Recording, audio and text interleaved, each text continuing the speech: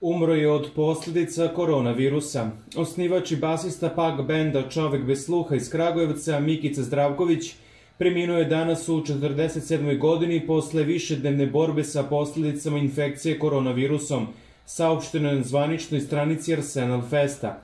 Popularni kragujevački muzičar bio je jedan od inicijatora osnivača ovog muzičkog festivala u Kragujevcu. Basista bendova Čovek bez sluha i Vesele 80.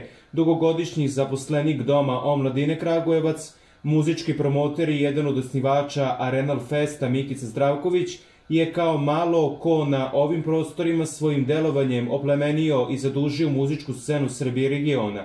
Zadužio nas je sve neizmerno i svojom ljudskošću, kvalitetom koji danas toliko nedostaje, a čije je Mikica Zdravković bio oličenje – Čovjek dobri, velike duše i izuzetno blag i duhovit, strpljiv i spreman da pomogne, Mikica je uvek bio najbolji kad je bilo najteže i jedan od najboljih, prijatelj, drug, brat.